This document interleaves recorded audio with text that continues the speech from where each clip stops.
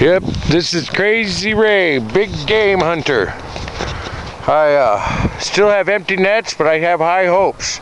But later on tonight, we'll find some place for some critters. I'm looking forward to possibly catching some crawdads so that we could uh, have some crawdad gumbo.